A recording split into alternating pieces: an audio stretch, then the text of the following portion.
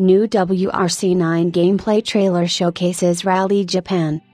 Nacon and KT Racing Studio have released a new gameplay trailer for WRC9, showcasing Rally Japan, a brand new round for the 2020 season that players will find in the game.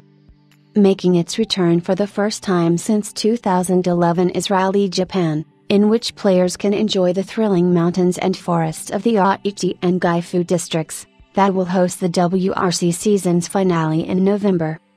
As the press release reads, in WRC 9, players can master the demanding course with its narrow asphalt roads and aggressive corners. Players will also navigate the lush environment which affects the driver's visibility. WRC 9 will have multiple improvements and new features for rally gaming fans. Its career mode will have enhanced gameplay mechanics and new opportunities to upgrade your team.